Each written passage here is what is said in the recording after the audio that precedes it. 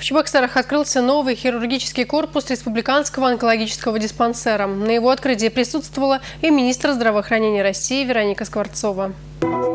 Инновационная система вентиляции помещений, лечебное газоснабжение и видеонаблюдение в операционных. Шестиэтажный хирургический комплекс оснащен самым современным оборудованием. Существенная часть средств была выделена из федерального бюджета.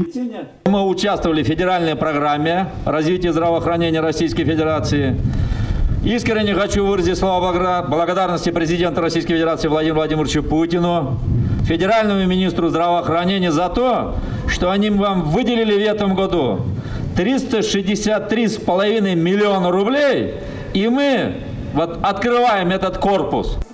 В новом корпусе будет создана уникальная логистика. Электронная регистрация исключает образование живых очередей. Приемный покой расположен так, чтобы было максимально удобно распределять пациентов по отделениям. Операционные оснащены системой видеофиксации, что позволяет в режиме реального времени консультироваться по особо сложным случаям с Федеральным онкологическим центром. Все, что есть в этом центре, это фактически умный корпус. Значит, э, электронная медицинская карта больного, причем встроенная в систему всей республики. Полное разделение потоков пациентов до операции, пациентов после операции, персонала ламинарные потоки воздуха, которые должны свести фактически на нет любую внутрибольничную инфекцию.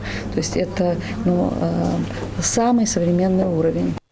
Открытие нового хирургического комплекса позволит проводить полное обследование пациентов в максимально сжатые сроки. Если сегодня такую диагностику можно пройти за месяц, то в ближайшей перспективе это будет неделя. Сокращая время обследования, можно спасти не одну жизнь.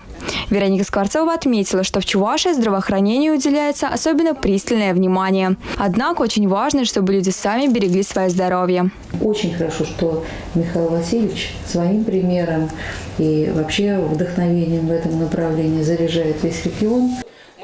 Сегодня показатель смертности от новообразований в Чувашии значительно ниже, чем в среднем по России. Введение в строй нового хирургического комплекса позволит существенно увеличить количество ежегодных операций. Если принять во внимание, что выявляемость онкозаболеваний на ранних стадиях тоже увеличилась, можно надеяться на еще больший эффект. Дарина Игнатьева, Андрей Спиридонов, Республика.